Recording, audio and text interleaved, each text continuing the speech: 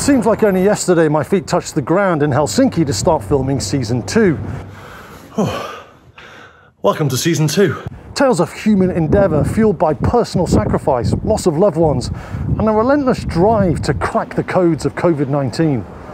This, along with a calculated passion for understanding the science and the data, the shaping of medical protocols, and the bustling activity found around the clock on production lines and in ICUs. This season has also been about tackling non COVID backlogs while working under the protocols demanded by the pandemic.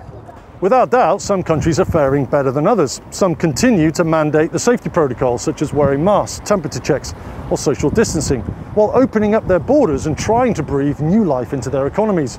Other countries are relying on the pragmatism of its citizens to accept the advice of epidemiologists and experts. But COVID isn't the only topic dominating the global narrative. In the past several months, race and discrimination through Black Lives Matter have emerged in profound ways. I had the opportunity to talk about the issue of discrimination in the workplace with GE's Chief Diversity Officer. We need candid conversations, we need to take action, and we need to fix this situation.